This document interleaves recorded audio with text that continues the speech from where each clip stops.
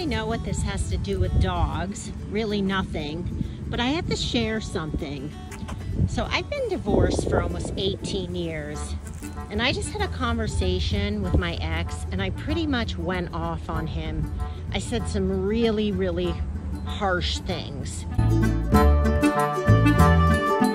I didn't say it to hurt him. I said it because it I needed to get it off my chest. I think it's been about 17 years that I've wanted to say some of these things. And I don't know if I did the right thing. I didn't call him names and I wasn't like mean. I was really saying factual things. And I'm not sure I did the right thing, and here's the reason why. Like, I feel pretty good. It was some stuff I really, really needed to get off my chest. But it hurts the co parenting relationship, which hurts the kids. And the reason I've never said anything or had this conversation was because of that reason. But today I just felt like I couldn't hold it in anymore. So part of me feels very cleansed, like I needed to say those things.